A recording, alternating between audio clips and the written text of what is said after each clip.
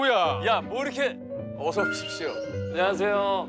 홍무가 이런 자리를 마련하다니. 식차야 인삼차야. 오, 신기하죠? 맛 진짜 그지 같네. 아.